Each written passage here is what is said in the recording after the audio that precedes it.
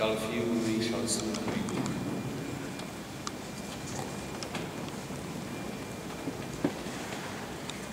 Doamne, mă doare sufletul și nu vreau să mă doar. Cinstiți părinți, din preună slujitori și tremăritori creștini.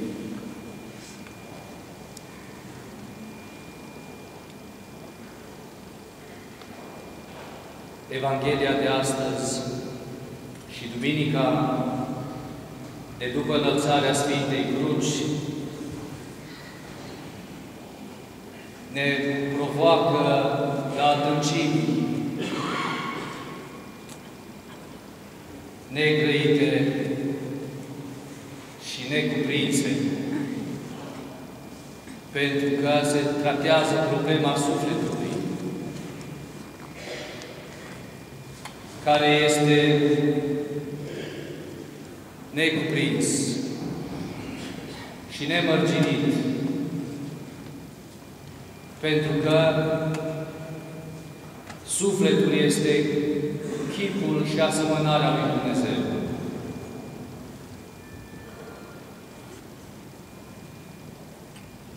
Și sufletul își are origine în Dumnezeu. Când spun că mă doare sufletul, oare spun că mă doare Dumnezeu?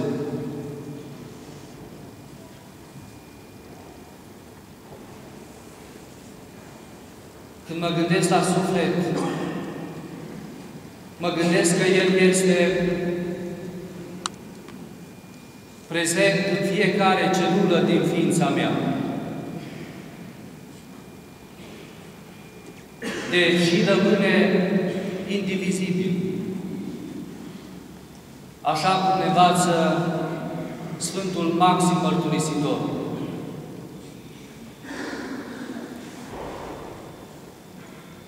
Este prezent sufletul în fiecare celulă din ființa mea.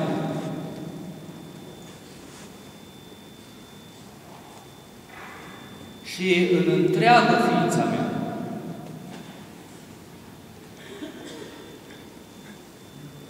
Când mă gândesc la suflet, mă gândesc că sufletul îmi depășește trupul, deși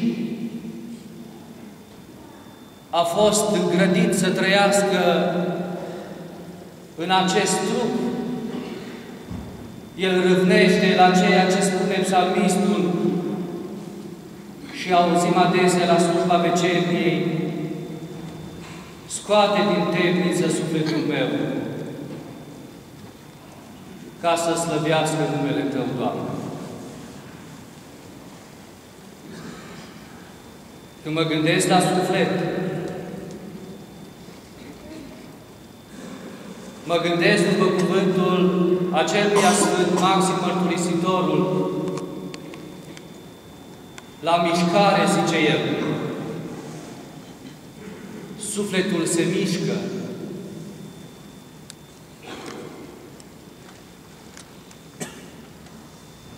Eu aș continua și aș zice că sufletul este într-o continuă devenire pentru că, așa cum spuneam la început, este creat chip și asemănarea lui Dumnezeu. Dacă ar fi doar acestea trei și ne-am putea da seama cât de minunat ne-a făcut Dumnezeu și că ființa noastră este atât nu numai minunată, atât de dumnezeiască, atât de sfântă, atât de extraordinară, încât nu pot să nu mă raportez la Dumnezeu care m-a creat așa cum sunt.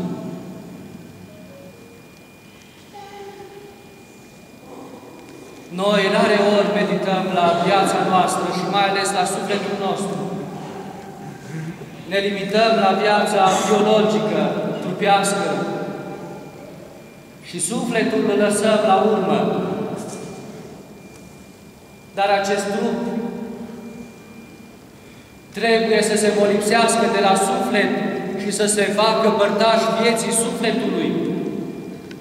Și nu invers. Și se va face părtaș sufletului.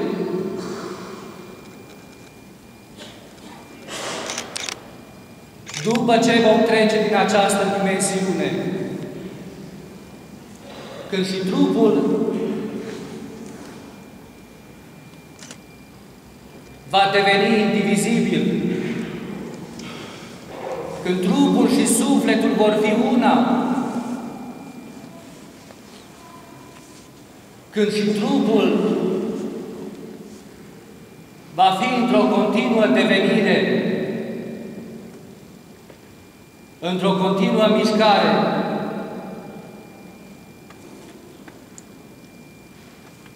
când și trupul va deveni necuprins Așa cum ne spune Sfântul Sofronie Sahatul, asemănându-le lui Dumnezeu, cel fără de început și fără de sfârșit.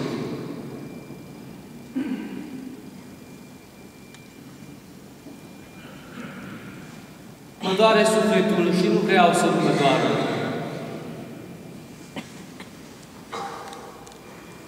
Și când spun aceasta, vorbesc și despre omul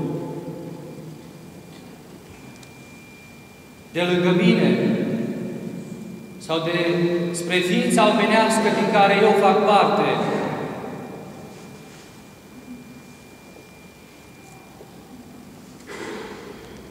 Și atunci mă gândesc la părinți, mă gândesc la frați, mă gândesc la fiul duhovnicești, mă gândesc la ucenici, mă gândesc la tot sufletul negăsit și întristat, care are trebuință de mila și ajutor lui Dumnezeu, dar și a omului.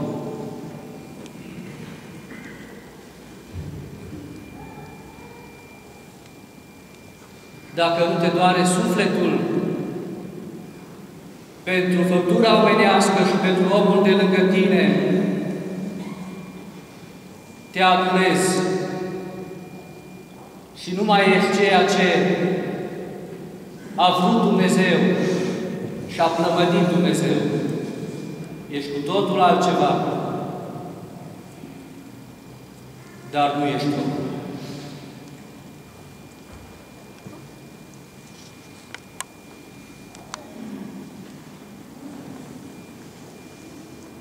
Mă doare sufletul. Și de ce să nu mă doară?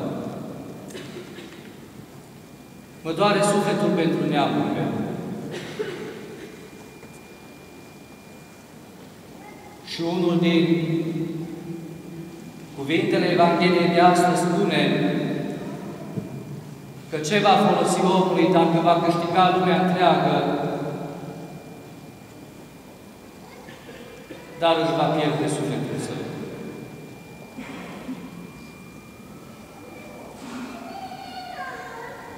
Mă doare sufletul pentru neamul meu. Și ar trebui să ne doară sufletul pentru neamul nostru.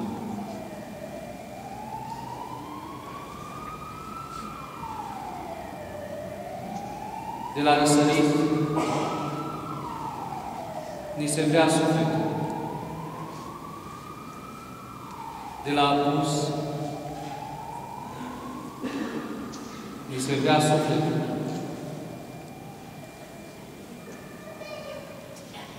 Pentru că n-au suflet.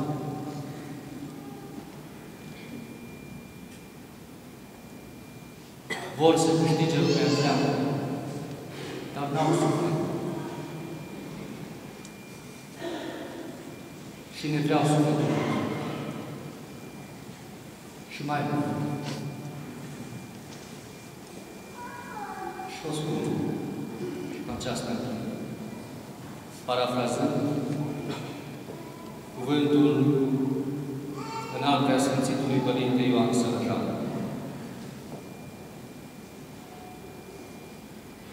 Mă doare sufletul și cum să nu mă doară